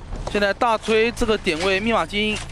应该是开不了的吧？我觉得，佣兵九十三，完了，那挂过去就开掉了。对，能开掉，这也是他们的一个安排他倒这里的理由。是的，那求生者方上把因为是一个秒救，导致失效药它是满状态，可以继续压着。密码机我们可以看到还差一台半，这一波一个夹已经夹到了北离。是的，而且他一刀就达到二阶了。不要忘记阿福这把他只是想要保平，对，那对他来说打针对就好了。是。嗯。放下雕像。是的。哎呦，直接是，哦，一下没夹到，是一个平 A 的存在感。那，直接开二阶，直接炸倒了，救都来不及救。对，一茶是想要过来，已经打好转点洞了，但已经钻不过去了呀。是的。那现在把蒹葭给挂飞，下一波目标很多人可以追啊，可以追佣兵，也可以追祭司。然后没有枪的有伤的空军。是的，一个坟场能看到空军的位置吗？左边没看到，往右边夹。一查，一个合成没有炸到。他如果炸到了一查的话，其实后面求生者再想去救人就比较难了。对，这应该是能看到北调方向一波倒车，直接拉距离。哦，这里好像是骗到了。是的。是拉近了不少的距离，想要进这个交互点，在板区继续夹，哎，夹到了，夹到了，夹到了，对，里面被夹到了，这一波雕像，哦呦，那个接一刀了，在你受伤的硬直直接出刀，对，因为他是刚刚被一个板子里面的雕像夹应该是挂到捕鼠器去压住人皇的那台遗产，是的，然后再找机会把祭司打残，祭司想要过来，已经过来了，看能不能排到。一个坟场，看到了脚印，嗯，有没有机会先夹一下？哇，这个角度他也能夹，能夹但没夹到。是，伊塔直接打动，这波有一个无伤救的机会，没有捞，还有半状态打倒了。是的，他是想捞人，但是被雕像打断了一下。对，那这样的话，对于阿福来说就是一个四抓面了呀。确实，这边先把祭司挂上，这样的话空军。他也可以不挂，不过他还是选择挂，反正只要他这把去保个平，比赛就拿下了嘛。是，那对于石小来说，他这个人救也不是，不救也不是。远程雕像合成没定到，那他下一个坟场应该会往大推那边投了。是的，然后他也没有给到太多他去一个摸箱调状态的机会。是的，毕竟只有三连比较好去。哦，定到了。到了。是的，合成合到了石小的佣兵。对，但是阿福也是。很就是知道嘛，所以赶紧赶回来压你走位。现在看到这个距离的话，手上有个闪现，没有考虑往窗户等。哎，不过那样的话就有一个弹簧万去把祭司救下来的机会了。对，但他其实可以切传送，就看切不切吧。先丢坟场吗？无所谓嘛，反正还有三台密码机。对你救下来的话，我随便打一个针对嘛。对，还有两台的话直接夹倒。一组直接把。祭司给打倒了，一夹夹一炸，是的，闪现空了，但这个窗，哎，又躲了一刀，好秀，这也能空？对，这是扭了一下。那把佣兵打倒，对，不去挂祭司吗？祭司要自起了，应该，应该还没好，应该还能来得及。是，应该差不多了，马上要自起。是的，直接爬起来。那佣兵也是有自起的，这里一查打了一个长洞，继续牵制。那这样的话，一个坟场。但是他得他得一直牵制，牵制到佣兵起来，还得修密码机。对，这任务也太艰巨了。面板子还在，一波合成还是没有达到。是手上还有一个洞。啊，这个洞感觉能从里面再打一波，再打一波绕一下。哦，这里阿福是预判了一下，对他预判其实可能会往板往板那个方向打洞。对。但是这样的话，截切了个插眼。要牵制到佣兵起来，还得把两台密码机补开。对，现在一查是没有自起的，就还是针对他打就好了。对，一夹还是夹空了，再插个眼。这样的话可以等雕像就好了。骗出来了。哎呦，这没打到。下一组怎么说？哎呦，秀起来了，一塔这边。是的，现在的话，人皇机是已经快要开了，不会真的能能完成这么艰巨的任务吧？我我感觉有点有点有点悬。是的，不过阿福的话，他毕竟只是要一个保平保平嘛，现在已经是保平了。是的，也让我们看到一叉的个人实力牵制的太久了这一波。对。那下一台只差两层，怎么说？看一下能不能再拖到私逍遥去把这两层给补掉。对。哎，但私逍遥好像。没找对密码机啊！这样子的话，哎呦，再拼！哇，这一刀没打到。是的，因为他的刀气没有过去。甚至阿福气得喷了个涂鸦。现在，对，这样的话，看看哦，倒了。这地方倒的话得挂。嗯，因为他如果说走过去的话，走过去的话，可能直接被通电，那就更亏了。是的。现在挂的话是会挂飞，对于失效来说有一个跳地窖的机会。但是排到了耳鸣，举过来插了个眼。哇，这波勾心斗角，阿福就是赌他的密码机不够，对没压好。先来到中场，我再假装要挂，试着往中场走，逼你离开密码机。对，但失效的话也是在绕。这波心理博弈真的拉满，失效最后一个互换交掉，想过去拉，但是有插眼。想过去，还没那么快。一查，但对，但是有插眼的存在。那前面的话还得拖，一查又没有自起。再等一手雕像吧。这也不能出刀了，出刀的话又瞄过去把人摸起来了。差不多起了。拿到一刀，那这样的话应该能摸起来。是的，但是这样的话，祭司 就是佣兵没自起，祭司只要打好祭司就好了。对，就他们其实。哎呦，这一刀居然没有扛到。是的。那也是老队友，所以直接在脸上翻了起来。对，感觉他们关系应该还挺好的。是，就喷喷涂鸦嘛。嗯。毕竟阿福本身就是只想要个平局，然后后面的话他们都是相当于一个个人的牵制秀。对，也是恭喜 FPX 朱雀在最终获得了本场比赛的胜利。哎，这个出生点，前面是怪咖的病患。是的。那咖哥这边的话，他这个病患在永眠镇，我不知道他这个熟练度有没有精进啊。咖哥病患在永眠镇只出过事情的。熟练度如果如果补上来的话，在这个点开始牵制很舒服的。墓地呀，简直就是病患的家呀。然后咖哥又出去了。咖哥说我不想在家里。不想回家啊。那行吧，拉点吧，拉点吧，拉点也是一个好选择。看一下盲夹，哎呦，皮皮线这边没有夹到。盲家还是有点难度的。他转点就意味着什么？意味着一定有人帮他。就看看这个辅助洞啊，小迪老师给留在哪了？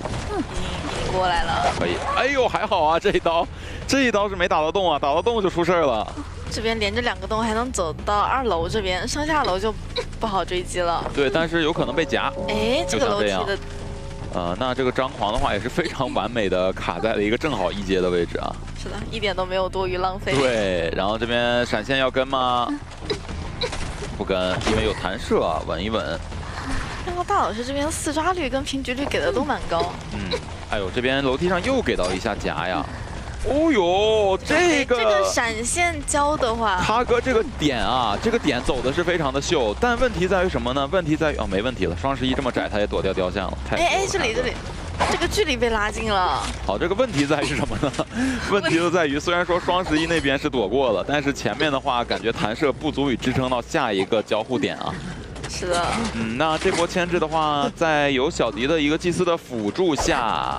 密码机差了，差的差的差的，而且追的是射击最快的一个位置。对，所以说其实病患就是 M2C 他们这个祭司体系玩的确实是出神入化，但是有一个问题在于什么呢？有些时候我强牵制能力的角色是在走投无路的情况下才是需要祭祭司来辅助的，并不是像小迪这样保姆式的一个祭司辅助。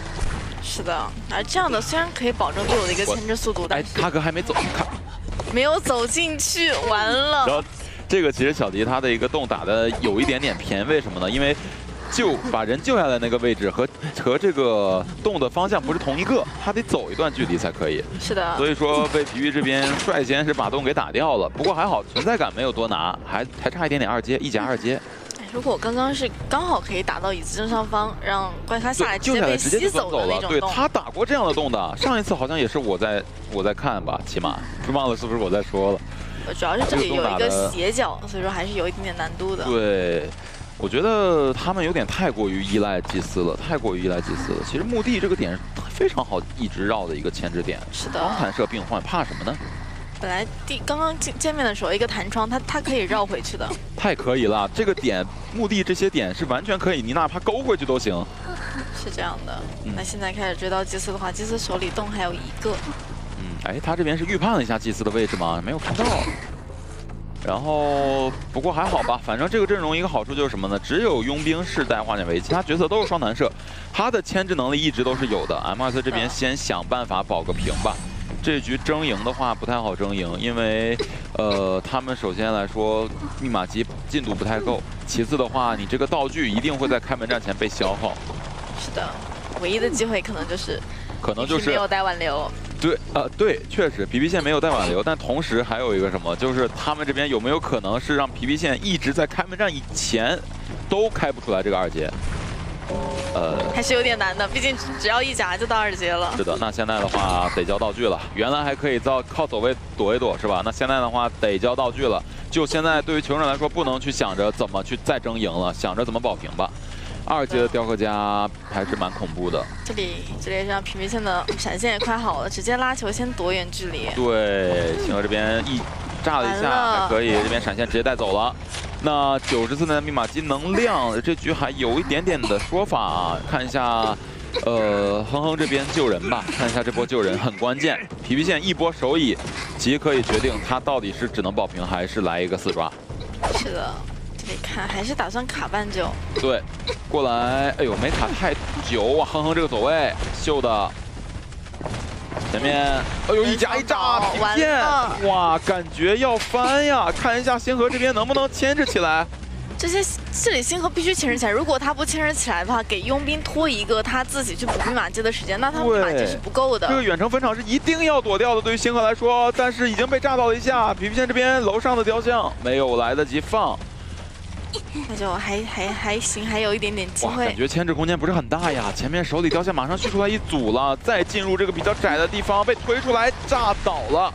呃，城者这边大洞续上了，只要能把佣兵摸起来，并且来得及救这个人的话，摸起来来得及救这个人的话，就有机会。嗯，六十八的密码机，看一看。这边丢坟场，丢坟场的话先钻走吧，没有关系。其实可以早点过来，让佣兵自己就。对，让佣兵自己也是可以的。然后小迪这边直接过来给压力了，但哼哼那边还是没有起来的。但小迪现在救人压力也很大，这个位置太空了，他从这个地方过去的话，对他不是像那种，他除非能绕到独栋后面去。哎，我觉得他们要跑一个了，真的，感觉要保一个了，保一个了，不来救了，小迪这边。这个时候再来救的话，很有可能就会给一个四抓机会了。嗯，是的，但哼哼这边还要躲雕像。哎呦，这个残影，哎，残影是可以被雕像在近距离炸到的，只是锁定不了而已。不过也无所谓，他也没没炸啊。那这边先把洞处理一下，密码机是能压好的，应该是来得及开的。那两个护腕的佣兵和两个洞的小迪有没有可能创造奇迹？有机会，但是这里的话开不了门，往这边绕的话，佣兵是开不了门的。对他看看能不能发觉到皮皮这边先踩板，哎呦，一点都不着急啊！这么紧要的关头先踩一个板，小迪这边已经拉远了。那这边两个人得卡两个地他到底追谁？对于祭司来说很很好走啊，对于祭司来说很好走啊，这个地窖点。完了，先交一个洞，但是那边门还没有贴到，有点亏。下个板，这里要看雕像能不能。哎呦，一个交互的炸前面，哎呦，这个雕像失误了，明显没有合成二级雕像。下楼的话，有机会了。刀没有打到，那没呃，但是门开不了呀。没差，能开能开门能开，但是要躲一下。能给到一刀，扛到扛到扛到了，那就平局。哇，没有想到没有选择走地窖，选择走门，完成了一个平局啊。这个点一般般，看一下小树林吧。小树林那边是谁呢？小树林这边是咖哥。咖哥的怎么又是咖哥呀？这皮皮线怎么每次都能精准的找到咖哥？咖哥这回没有祭司了，得靠自己了。咖哥，然后这回不去主动找队友辅助的话，只靠自己能力牵制，应该是有没有太大问题了。这个看看咖哥的一个说法，因为病患他的牵制能力实在是太强了。就看咖哥能不能把这个角色。哎，这里，我的天哪，好险！太猛了，太猛了！日一，这就是什么？就万一是失了足，就是千古恨呀。是的，我差点都以为这里要给一个震慑。对，前面翻墙。这一个翻的话，这个交互也走不了。咖哥这个勾点是什么意思呢？并没有转很远。先要鸟哦，也行，也是比较稳健吧。但是那个钩子，我觉得不知道，没看出来他要去哪。这边再来一个纯粹拉距离的，利用这个比较高大的树啊，去勾一波这个空地横竖夹，没有夹到。那这边只能找机会，看能不能再夹一下，然后闪现带走。对对，皮皮现在一定要先夹一下的。看前面这个盲夹要不要放？雕像不算很多了，还是犹豫一下。来了，就赛前分析那个情况，追我咖哥是吧？虽然没有祭司，但是。小迪老师化为了另一种方式守护你，防护总会在的，不管以什么方式，总会在的，虽迟但到。是呀，这那这个距离，这还能找得到吗？不过有坟场，皮皮这边有坟场，其实排视野还是蛮快的。那这里看能不能蹲过去，这里这个视野好像没投好，偏了偏了偏了，投在角落里。对，完了，咖哥这边感觉狗，哎，但是他自己起来了，他可能以为被投到了。对，那那就没事，先给一刀嘛，只要不吃甲就行了，给到一刀。是的。密码机都已经修开了，这个密码机进度其实还是很可观的，很可观的，够的，够的。这局只要救人不出问题是够的，而且这边昆虫又过来了。天哪，难道以后针对 M2C 的一个做法是把所有的辅助位都按掉吗？才能限制到小迪老师？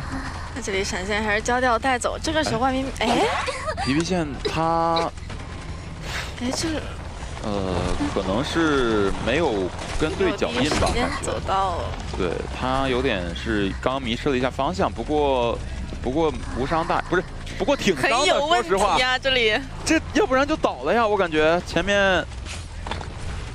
这个雕像又空掉。对，但是第四台都已经修了一半了。能续上，能续上，还是能续上的雕像。皮皮线这边一定不要着急啊，这边又这里又找丢了一次。哇，卡哥，这个是什么走位啊？直接是给皮皮线骗到这个原地旋转了。本来刚刚那个点位秒掉之后，说不定可以挂到三板遗产机里去。最后还给一夹，哇，太难了。这里卡半给个搏命，如果密码机不被干扰太多的话，甚至是卡半就能压好了，都不需要二挂了。是的。那怎么说呢？皮皮线这边传送感觉是能拖出来吗？五十多秒，不好讲啊。有机会能拖出来，但是清河这边救人用也不好说。哇，这样的话。把卡哥救下来是没有给到一个二六空间，这个没有第一时间救，应该还是被雕像干扰了下，看密码机能不能够。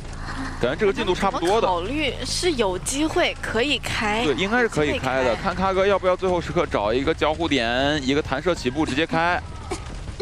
开了，得开了，他找不到脚步点了，开了。但是，哎，哎呦，皮皮线，一点点，最后的机会还让他给抓到了，但是又没有完全抓到，因为传送好不了，门能先开掉，感觉这局依然是一个三跑板上钉钉的局啊。刚刚可以选择先投一下坟场，干扰一下门的。对，但是。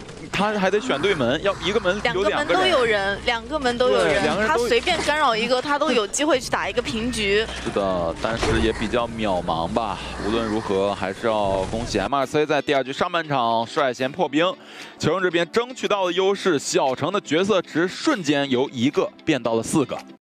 嗯，一板一双，小树林。木屋方向是柚子，柚子的前锋，呃，不能追，不能追，前锋追不了。前锋没有意义，追不了，追不了，这个点都不用跳。呃，不是，都不，感觉哇，感觉柚子这个球是不是拉的有点多呀？他刚刚他好怕进木屋盖板会被抽到，直接拉球压根就不跟你博弈，都不往木屋拉，你发现没有？哇，这这太稳了吧，柚子。那那那你要第一波猫，我一只猫。那这里的话，这。感觉还是要被猫咬到呀！没咬到，没咬到，还好，还好，还好是没咬到。哎呦，这边哎，使徒安就不要想抽刀了，说实话。感觉使徒安这个抽刀也太慢了，这老奶奶抬刀抬刀了，属于是。是的，就感觉前锋刚刚可以转转到三板的，刚刚那个球不用拉这么多。呃，我我是觉得前锋有可能要被秒了。吃一刀，一个闪要带走的，这个这个不是一个前锋应该牵制的时间。而且前锋的球几乎没有。对。他这两波拉球拉的有点……哎，这边我觉得别这么冒险。别哇！打到震慑了。我觉得柚子真的，他就四只已经有三只都翻过这个板子了，可能就留了一条腿在板子后面，然后就被打到这一刀了。我的天呐，太太夸张了！小城这个闪要是空了的话，感觉。反弹一拉走就没了。对，这局三台以上了就，哇，这个节奏的话，其实也只能说是 有保平局。对，但是他外围能拦拉回去，但是现在是一阶的使徒，怎么拦呢？是的，只能说让他强行救不到，强行让他过半。哇，小城 细呀，对，可以看到熟练度在的呀。看到我们大老师给的最高。最高概率也是一个平局。这局应该是已经说是平局起步了，对于小程来说，前锋进来之后没有牵制能力，而且还逼了一个什么？逼了一个基本上是过半秒救。这平局对于小程来说就是就够满足了。够了，对。这边红光骗一下吗？其实也是云得到。使徒安他的强就强在击倒之后，然后你就没有什么办法再进行二次牵制了。他这个猫，说实话，这个也是感觉整个游戏里面最比较容易命中的一个技能了。这个猫圈是非常非常大的，很难通过走位去完全扭掉的。哎，说到走位扭掉，我想起了路索钩子。我觉得那个那个带自动瞄准的那那属于。啊，那 现在下两台二阶使徒强留人能力啊，这个我觉得求生者操作空间很很很很有限。不管是针对心理还是针对调香，这两个你到开门战都没有牵制能力。我们在的对，退一万步讲，调香开门战可能能摸到位移道具，但是心理他是换不了道具的呀。只要针对他打，是一定可以去留下这个人的。这个也是我们角色上的一个特点，就是开门战之前的神和开门战之后的神。看一下五星这边，哎呦，五星这个钩子熟练度很高啊，五星是的，这个确实病患熟练度很高，算是很可惜二阶使徒呀，还有第二个跳。对，二阶使徒和二阶红夫人是不一样的，夫人的话一个钩子还是能费镜像的，现在你很可能你交了道具之后，我两段跳你依然费不了我的猫。是的。而且冰幻还带的是一个搏命，还没有窗弹。是的，冰。这边看一下，好险，好险，但是 刀上面擦过，应该是跳过去拿刀了。就使徒他的追击节奏也很稳定，也很稳定，尤其到了二阶之后，就就很难让求生者有招架之力。那求生者这边是调香修完，然后让调香师过来救人。现在这个问题来了，怎么三跑？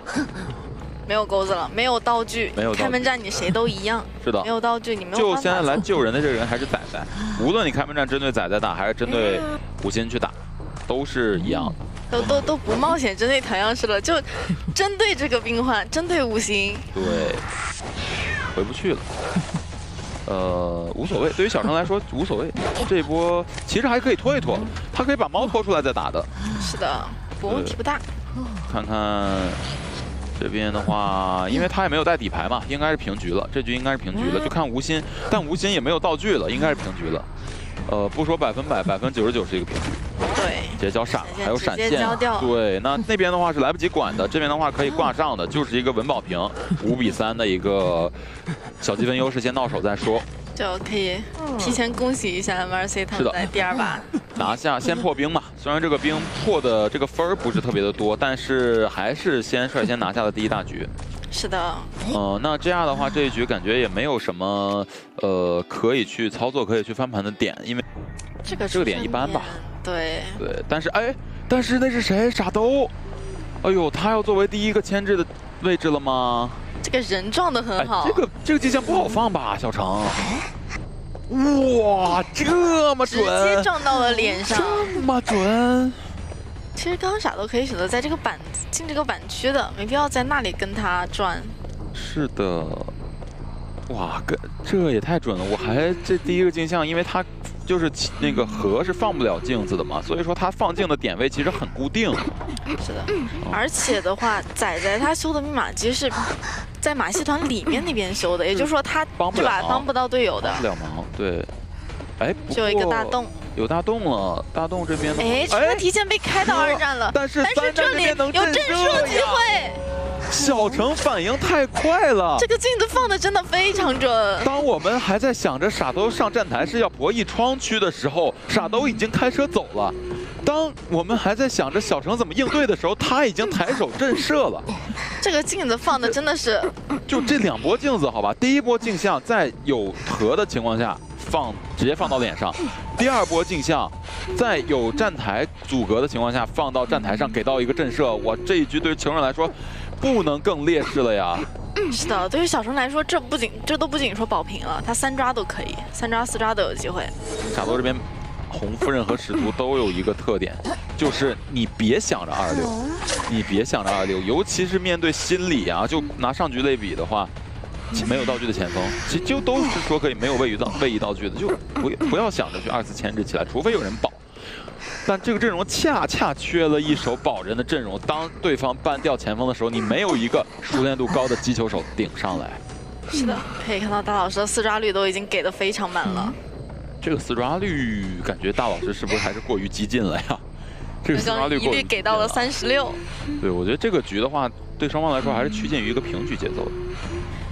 但是如果这波压满来救的话，祭司是没有搏命的，没有搏命，他很有可能会被马上找到第二波机会。对，而且这里救下来，他没有牵制空间。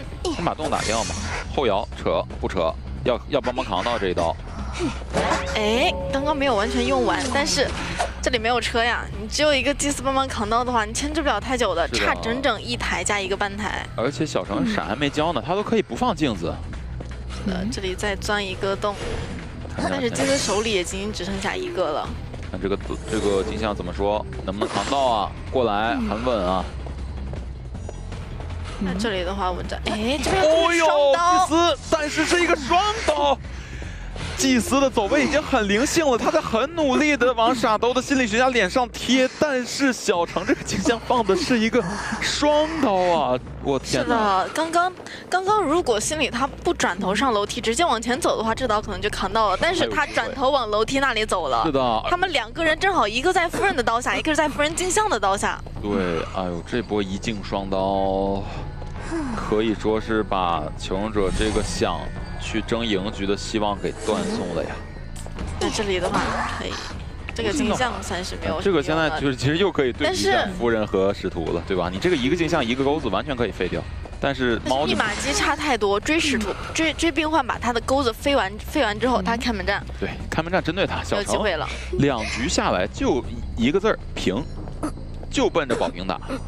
是的，然后给自家的求生者他们这次保平。然后就可以拿下这场比赛了。哇，M 二 C 这个风格真的是能屈能伸呀！这稳的时候是真的稳呀。哎，这个飞到了脸上，逃过了镜像，但是没逃过本体。他这个钩子是不是应该往马戏团的方向勾会好一点啊？他为什么会往这个镜子的方向去勾呢？这一个就直接给包围了呀。是的。前面闪现肯定不交，走地追到一刀。那还得过来再救一波哇！密码机甚至还不算特别的够，够啊，不过也够了，也够了，因为毕竟 救两波还是可以的。佣兵嘛，他可以救两波。但是这样的话，佣兵有很有可能面临一个开门战没有满状态的一个局面。哎，这个秒洞，这个功底，看看这个镜像精准度能不能把这个洞打掉。看样子还是差一点点。对。这边应该左下角改成这个洞的视角，是的，看这个洞在红夫人刀下瑟瑟发抖。那这里卡班救下来，卡班就感觉扛到的话能够。哦，对，那提前给刀的话感觉能够。是的，看这里能不能拖一下，拖到佣兵尽量等他的血线过半。其实，呃，小陈这边这个这个镜像可以去拦洞的，其实。是的。他也不着急，他知道密码提压好了。最后的机会就是连上这个地对，就这个洞了。但小程这个镜像，他只要是说平地追倒了吴昕，那他这个镜像一定是要往洞的方向抬的，因为我可以留着闪去处理吴昕。但是其实，呃，其实也无所谓，还有底牌呢，对吧？你就算钻了洞，也不好不好去走。其实如果佣兵在救完人之后，就是在他队友。在发现队友可以在这里牵制很久，他如果当时在附近摸个箱子呢？嗯，就给他留队友补充一个道具，到鬼屋前面那边摸个箱子什么的。是的。不过吴昕这边的话还有点说法，就是地窖在这儿，但是没有道具。最难受的是没有道具。这个车刚刚是不是在三站来着？哎呦，这个哎，这边让让祭司过来打洞了。对，来过来迎接一下，接一接人嘛。吴昕这边应该是。可以去给刀，还是要平地被打到的这里。对，但是小程他现在的容错空间太大了。三站车在三站。对，但是他肯定不能往终点开。这里要看这个镜子抬不抬。钻洞，然后钻大洞。大洞钻不了，钻不了，这会儿不能钻。不钻的话呢，镜像要带走了。这个时候如果不处理到，可以喊祭司钻大洞过来再帮忙，再打个小洞。这样子的话，直接交闪了，我镜像都不用了吗？直接变成走地流红夫人。那就是一个平局了，没有意外。是的，哇，那小程也是完成，哇，小程这一局也太稳了吧！这他生怕什么？生怕台镜像的一个后摇病患能被他追到机会，有点操作嘛？哇，太稳了，太稳了。那这样的话，呃，这样的求生者依然是没有完成破冰。那哎，一样，这个出生点没有什么变化。小迪的邮差可以追，是的。嗯，追吗？皮皮这边要去左边看吗？不看，直接追小迪了，应该直接追小迪了。那这个点位其实就是比较有机会上车，刀上个车，对呀，甚至可能刀都吃不着。对，但是呢，皮皮线可以把寄生补在一站，原生停在二站，这个车你还赶不上？完了，这个寄生补的是佣兵的吧？佣兵拉走了呀，佣兵拉走了，完了，完了。那这里的话是稳定可以。太贪了吧！这一波哇，皮皮剑这个打法好拼啊！这个拦不住了，这个人。还好二战没关掉。那这里你其实就算来一刀的话，他也是有机会再拖到。星河把这个信徒，你看拉就是把这个信徒拉扯的都不知道往哪走了，已经。你现在一个单信徒过来追人真的很难。对，而且梦之女巫第一波寄生信徒，如果说不拿刀的时候，这个 CD。感觉等完这个 CD 密码机都三台了，他只能赶紧去迅速用原生镜头拿刀，但是要用狗了呀。然后用完狗之后，其实哎，不过小迪没有选择在二战博，哎，这个也没卡。那这里还是来得及，还是能上去。对，有点失误了，不过无伤大雅。这里上得去，并且哎，能上能上车吗？咬住，感觉看一下信徒的位置，信徒，哎呀，信徒没瞄准呢，还没有第一时间开。信徒没瞄，哎，不是，哎。小迪他坐的是坐到了后面的位置，刚刚并没有第一时间上来。这也在你的计算之中吗？小迪契卡，他他不是驾驶位吧？好像他没有坐在驾驶位，他坐在第二个位置。刚刚，但是结果刚刚刚皮皮线以为他可能要开车走，甚至都没有在上。小迪这是跟咖哥搁这竞争这个第二站的命名呢，是吧？哇，这太夸张了吧？这这说是故意的，我是有点不太信了。现在，那这样的话。其实密码机还是还是有机会，对，还是有机会，只要只需要击倒。哎呦，这个预判狗，但是寄生信徒跟上了，小迪这边应该是要被寄生信徒击倒了。哇，很成功的一波牵制啊，很成功的一波牵制，最后还送掉一个寄生。而且外面密码机刷刷的掉。是的。太难了。那因为这一局对于 MRC 求生者来说，只需要保平就能获得胜利了，所以说稳扎稳打，稳扎稳打。过来保平救一波。对，你看，但这个佣兵，哎呦，哎哎，哎呦，这里换，哦，还是找到，还是找到位置了。到了。呃，感觉给到一刀，那这样的话没有发挥一个逼救的一个作用啊。不过没有关系，一个反弹，他这里有机会继续再牵制一会儿。嗯，有点空间，但是空间不是很大。是的，前面两块板子，集成在这里。对，看一下他是选择放狗还是包夹还是切底牌。哎，小迪怎么走了？我这个走位，我以为他要进板博弈了，结果他直接拉到长板去了。而且这边密码机被开掉了，就是皮皮这把没有守密码机的机会。没有什么节奏点了，这这好像没有，暂时看起来没有什么能翻盘的能力。哇，那感觉凶多吉少呀！皮皮线这个场还能不能控住？在鬼板要去控终点的密码机，这边半场密码机几乎都被开完了，没了。最近的一台是二战底下那个那台吧？应该是。大家都可以不要，是桥上的。还是三战的那个是？我看不太清那台密码机，应该是三战的吧？三战的，哇，那这怎么控啊？这里二战跟曹上两台机分开修，是的，就你哪怕切个底牌，你把失常了也没有用。对，这边站在这儿，两边密码机都在逼迫，打不打？继承信徒犹豫，很犹豫，很很不舍得。没办法打，只要打了的话，那台机是稳定可以修的。但是对卡着也没有办法，因为完全不怕。看一下小迪的博弈了，哎呦，好稳呐！一个短板博弈，直接是交出了这个板弹。只要不被震慑，只要不被震慑，星河这边只要不被震慑，这局是稳的。是的，啊，这个时间啊，只要对拖出来搏命之后，他在控密码机的时候，那边甚至可以去原生，呃，不是过来再给他补一个寄生，原生依然要站住二战。来不来得及把这个牵起来？他他他他现在在盯着卡哥，就那不是在盯着星河，就看有没有机会打个震慑。对，每次切过去都看一眼。是吧？但其实打个震慑也没有用，对，打个打个震慑，佣兵也是来得及，再满代接卡卡自己一个血线直接开除非说他的那个本体就在附近，再补一个寄生。看一下门，已经第一时间贴了。病患这边争分夺秒的在点门，而且病患手上是有小迪在在生前留下的这封信的。是的，而且他现在三个钩子，两个钩子，还有两个钩子。怎么说？还有没有机会看一下那边？星河那个他有机会星河要把星河其实他就吃就行了，只要不被震慑，这一波是一个稳平局。因为现在场上两个信徒，寄生信徒这个门给不到压迫感，原生信徒这边门我可以不点，因为我要保平。这边门开了，这个信徒还是。不管，但是咖哥，但是星河走了之后，这个信徒消失了，感觉拦不住了，要三跑了。是的，只要现在心里出门，这边就是稳定走掉。三跑了，哇，那这样的话，恭喜 M2C 拿下了最终比赛的胜利啊！这一局比赛，你说不仅打赢了，甚至还给自己自己方多增加了一个净胜。增加了净胜。这个，我觉得整局比赛最精彩的一点就是二战那个博弈，好吧？确实。这个。